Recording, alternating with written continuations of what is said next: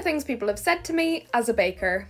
Hi there, so I want jam in my cake, but I also don't want it to be pink. Is there any way you could do that?